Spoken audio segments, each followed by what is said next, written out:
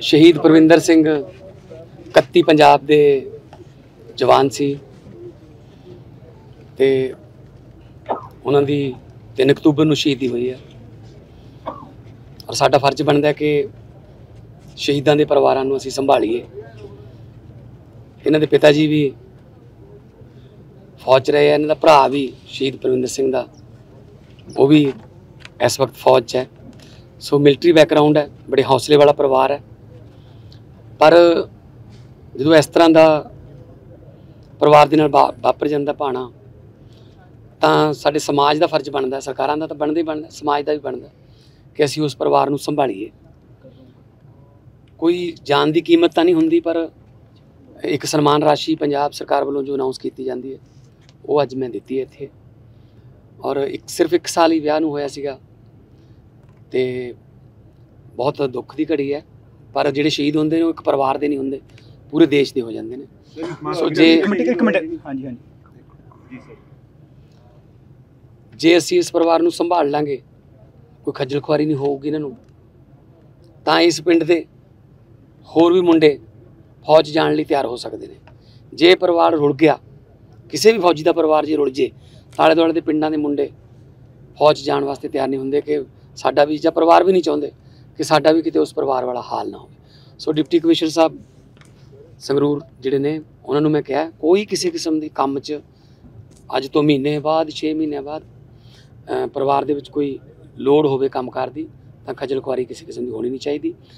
ਪਰਿਵਾਰ ਵੱਲੋਂ ਇੱਕ ਬੁੱਤ ਜਿਹੜਾ ਲਾਉਣ ਦੀ ਮੰਗ ਕੀਤੀ ਗਈ, ਉਹ ਸਾਡਾ ਫਰਜ਼ ਬਣਦਾ ਹੈ।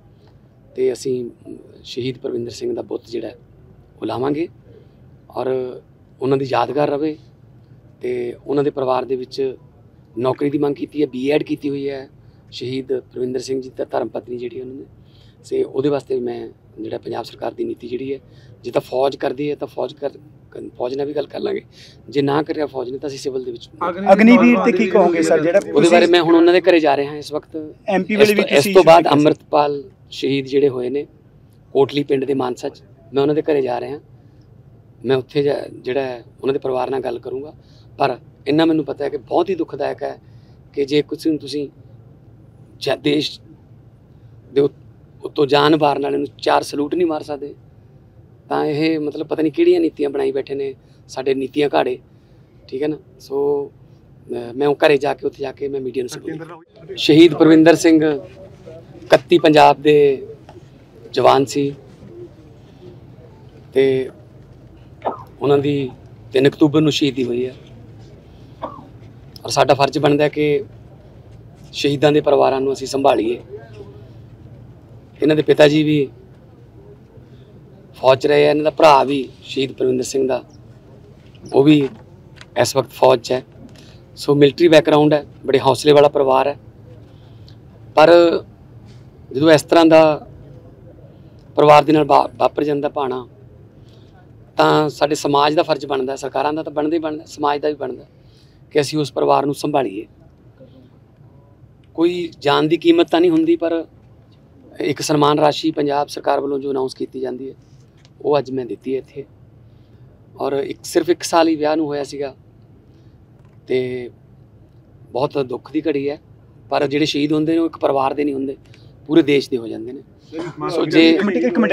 ਹਾਂਜੀ ਹਾਂਜੀ।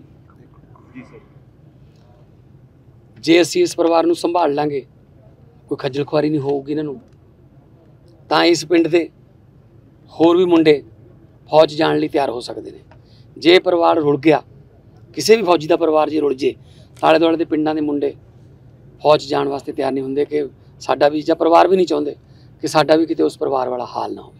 ਸੋ ਡਿਪਟੀ ਕਮਿਸ਼ਨਰ ਸਾਹਿਬ ਸੰਗਰੂਰ ਜਿਹੜੇ ਨੇ, ਉਹਨਾਂ ਨੂੰ ਮੈਂ ਕਿਹਾ, ਕੋਈ ਕਿਸੇ ਕਿਸਮ ਦੀ ਕੰਮ 'ਚ ਅੱਜ ਤੋਂ ਮਹੀਨੇ ਬਾਅਦ 6 ਮਹੀਨਿਆਂ ਬਾਅਦ ਪਰਿਵਾਰ ਦੇ ਵਿੱਚ ਕੋਈ ਲੋੜ ਹੋਵੇ ਕੰਮਕਾਰ ਦੀ, ਤਾਂ ਖੱਜਲ ਖੁਆਰੀ ਕਿਸੇ ਕਿਸਮ ਦੀ ਹੋਣੀ ਨਹੀਂ ਚਾਹੀਦੀ। ਪਰਿਵਾਰ ਵੱਲੋਂ ਇੱਕ ਬੁੱਤ ਜਿਹੜਾ ਲਾਉਣ ਦੀ ਮੰਗ ਕੀਤੀ ਗਈ, ਉਹ ਸਾਡਾ ਫਰਜ਼ ਬਣਦਾ ਹੈ ਤੇ ਅਸੀਂ ਸ਼ਹੀਦ ਪਰਵਿੰਦਰ ਸਿੰਘ ਦਾ ਬੁੱਤ ਜਿਹੜਾ ਉਹ ਲਾਵਾਂਗੇ ਔਰ ਉਹਨਾਂ ਦੀ ਯਾਦਗਾਰ ਰਵੇ ਤੇ ਉਹਨਾਂ ਦੇ ਪਰਿਵਾਰ ਦੇ ਵਿੱਚ ਨੌਕਰੀ ਦੀ ਮੰਗ ਕੀਤੀ ਹੈ ਬੀਐਡ ਕੀਤੀ ਹੋਈ ਹੈ। ਸ਼ਹੀਦ ਪਰਵਿੰਦਰ ਸਿੰਘ ਜੀ ਦਾ ਧਰਮ ਪਤਨੀ ਜਿਹੜੀ ਉਹਨਾਂ ਨੇ ਸੇ ਉਹਦੇ ਵਾਸਤੇ ਵੀ ਮੈਂ ਜਿਹੜਾ ਪੰਜਾਬ ਸਰਕਾਰ ਦੀ ਨੀਤੀ ਜਿਹੜੀ ਹੈ ਜੇ ਤਾਂ ਫੌਜ ਕਰਦੀ ਹੈ ਤਾਂ ਫੌਜ ਕਰ ਫੌਜ ਨਾਲ ਵੀ ਗੱਲ ਕਰ ਲਾਂਗੇ। ਜੇ ਨਾ ਕਰਿਆ ਫੌਜ ਨੇ ਤਾਂ ਅਸੀਂ ਸਿਵਲ ਦੇ ਵਿੱਚ ਅਗਨੀਵੀਰ ਤੇ ਕੀ ਕਹੋਗੇ ਸਰ? ਜਿਹੜਾ ਉਹਦੇ ਬਾਰੇ ਮੈਂ ਹੁਣ ਉਹਨਾਂ ਦੇ ਘਰੇ ਜਾ ਰਿਹਾ ਹਾਂ ਇਸ ਵਕਤ। ਐਮਪੀ ਇਸ ਵੇਲੇ ਵੀ ਤੋਂ- ਇਸ ਤੋਂ ਬਾਅਦ। ਅੰਮ੍ਰਿਤਪਾਲ ਸ਼ਹੀਦ ਜਿਹੜੇ ਹੋਏ ਨੇ ਕੋਟਲੀ ਪਿੰਡ ਦੇ ਮਾਨਸਾ 'ਚ ਮੈਂ ਉਹਨਾਂ ਦੇ ਘਰੇ ਜਾ ਰਿਹਾ। ਮੈਂ ਉੱਥੇ ਜਿਹੜਾ ਉਹਨਾਂ ਦੇ ਪਰਿਵਾਰ ਨਾਲ ਗੱਲ ਕਰੂੰਗਾ। ਪਰ ਇੰਨਾ ਮੈਨੂੰ ਪਤਾ ਹੈ ਕਿ ਬਹੁਤ ਹੀ ਦੁਖਦਾਇਕ ਹੈ ਕਿ ਜੇ ਕੁਝ ਨੂੰ ਤੁਸੀਂ ਜਾਂ ਦੇਸ਼ ਦੇ ਉਤ- ਜਾਨ ਮਾਰਨ ਵਾਲੇ ਨੂੰ ਚਾਰ ਸਲੂਟ ਨਹੀਂ ਮਾਰ ਸਕਦੇ। ਤਾਂ ਇਹ ਮਤਲਬ ਪਤਾ ਨਹੀਂ ਕਿਹੜੀਆਂ ਨੀਤੀਆਂ ਬਣਾਈ ਬੈਠੇ ਨੇ ਸਾਡੇ ਨੀਤੀਆਂ ਘਾੜੇ। ਠੀਕ ਹੈ ਨਾ? ਸੋ ਮੈਂ ਉਹ ਘਰੇ ਜਾ ਕੇ ਉੱਥੇ ਜਾ ਕੇ ਮੈਂ ਮੀਡੀਆ ਨੂੰ ਸਲੂਟ